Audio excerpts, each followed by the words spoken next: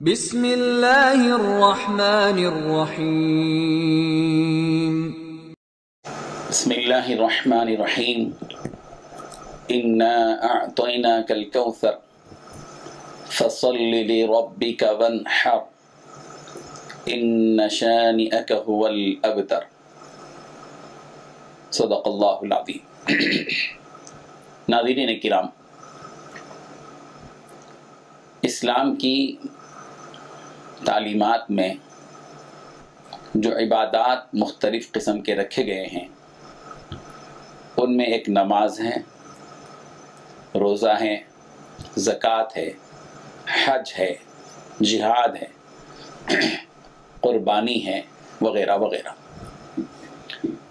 माह दिलहजा में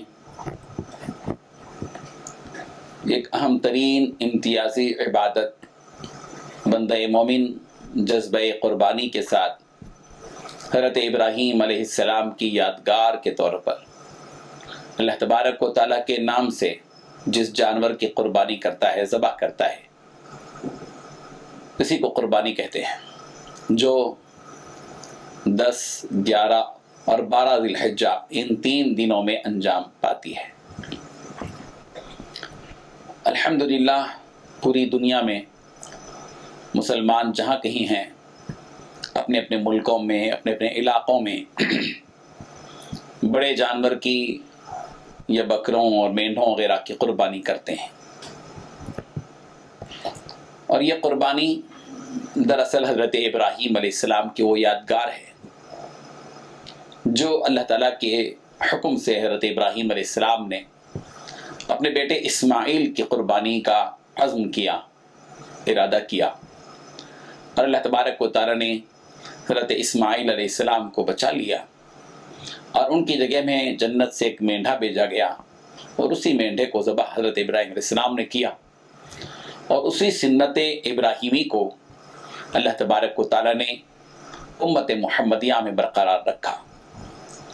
नबी करीम हज़रत मोहम्मद रसूलुल्लाह सल्लल्लाहु अलैहि वसल्लम को हुक्म दिया गया सूरतुल कौसर में, जहाँ प्यारे पैगंबर वसल्लम को हौज कौसर की बशारत दी गई, कौसर के अता किए जाने की कि इन्ना आतना कल कौसर, के पैगंबर हमने आपको कौसर अता की है। आप इस नेमत की खुशी में शुक्राने के तौर पर फ़सल रबिक अपने परवरदिगार के लिए नमाज़ पढ़िए वन हर और नहर के लिए कुर्बानी के लिए इन नशानी अकहुल अबतर। बेशक आपका दुश्मन नश बेनामो नशान होगा। अल्लाह आपके नाम को बुलंद रखेगा। और आपके तरीक़े, आपके दीन, आपके लाई हुई शरीयत को अल्लाह ज़िंदा रखेगा। उसका नाम सरबुलंद होगा और आपका दुश्मन बेनाम निशान होगा।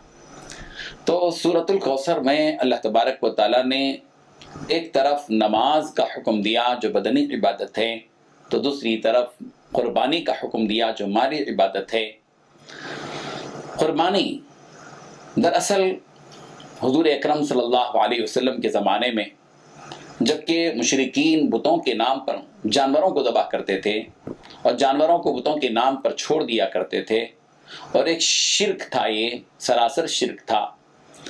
अल्लाह तबारक ताला ने इस सिलसिले को ख़त्म करके नबी करीम हज़रत मोहम्मद अलैहि वसल्लम के ज़रिए इस कुर्बानी के सिलसिले को जारी रखा, जिसमें एक मुसलमान ईमान के साथ अल्लाह का नाम लेकर, अल्लाह के नाम ही से जानवर ज़बह करता है, जिसको कुर्बानी कहा जाता है। कुर्बानी ये एक अमल है, जो साहिब साहिब निसाब पर अल्लाह तबारक ने जिसको साहिब निसाब बनाया है, उसके ऊपर यह कुर्बानी हर साल वाजिब होती है, जब भी आदमी साहिब निसाब बरकरार होता है। बड़ा जानवर होता है तो उसमें सात हिस्से हैं। ऊँट है, बैल है, भैंस है, गाय है, वगैरह। और अगर छोटा जानवर है, बकरी है, मेंढा है, मेंढी है वगैरह तो उसके, उसमें से एक बकरा, एक ही एक ही, एक की जानब से एक बकरा एक मेंढा ज़बा किया जाएगा। गाय वगैरह ज़बा कर रहे हैं तो सात आदमी उसमें शरीक हो सकते हैं। ये एक शर्य हुक्म है जो कुर्बानी से मुतल हमने आपको बयान, आपके सामने बयान की हैं। इन ईद अज़हा तक हम क़ुरबानी के मसाइल और क़ुरबानी से मुतक़ बहुत सी बातें मालूम आपके सामने व्हाट्सएप के इस सफ़ा डेली मैसेजेस के ज़रिए से भेजते रहेंगे ताकि हमारी मालूम में इजाफ़ा हो। अल्लाह तब और अमल करने में आसानी हो। अल्लाह ताला अमल की तोफ़ी अता फ़रमाए। आमीन। व आखिर दावाना अनिलहमदिल्ला रब्बिल आलमीन।